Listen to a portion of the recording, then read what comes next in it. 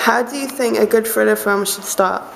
Well, personally, I think uh, the best way a thriller film should start is probably straight in there with the action, you know, kind of build suspense right away, try and grasp the audience's attention straight away, because I don't, I mean, with, when you have that kind of idea, it really engages the audience, whereas if you have a boring start, the audience won't get interested in the film and that, so yeah, a quick start would probably be best.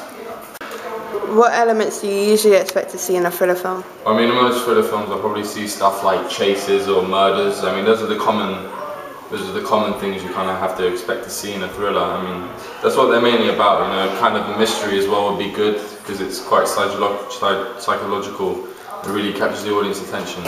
But in general, yeah, the murders and kind of chases are what you generally see in thriller movies.